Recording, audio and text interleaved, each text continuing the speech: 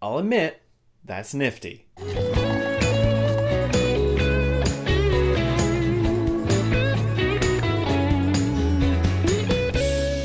Hey guys, so this is my review of ARQ. This is a Netflix original. Originally, I wasn't going to see it, but mainly because it looks like a different version of Groundhog Day. And the only two times I've ever really enjoyed a Groundhog Day premise is obviously Groundhog Day and when they did it in Supernatural Season 3.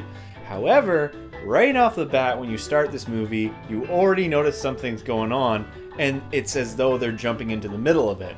And I will admit, this movie had me in the first few minutes, I was already hooked. I was cooking dinner, but I swear I was like this stirring the pot the entire time. What this movie is about is about a guy who wakes up with this girl.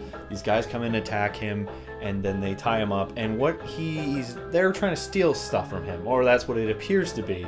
And what he is is he's a military engineer who's made this thing called an ARQ, which is an ever-turning turbine that provides uh, limitless energy.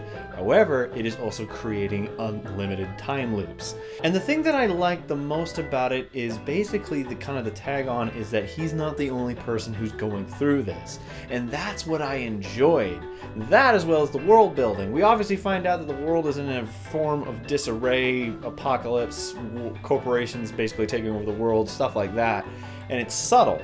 However, this film's main aspect is the between the two characters, the main guy Renton and the girl Hannah. Renton looks like a discount version of Arrow, uh, he was actually really good. He's an engaging character, and what we're going through, we're seeing this guy who lives with past regrets. And however, there are a few issues. It's kind of irrelevant to say, but this film kind of follows patterns in terms of other main story narratives.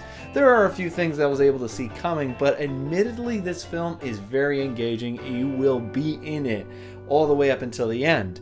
And that ending, I'll admit, I even said, "Ah, man!" Like, no, it's not. Don't take that as a bad thing. I actually did enjoy how it ends, and I would love to see this guy make something more. The director had a really cool vision.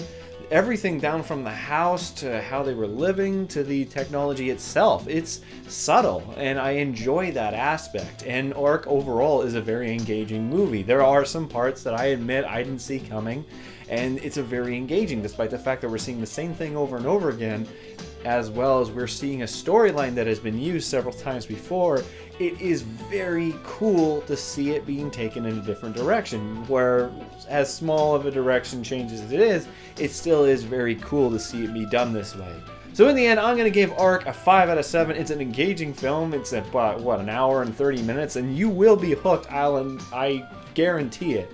You will be hooked to this movie. Anyway, guys, that's all from me. I'll see you guys next time.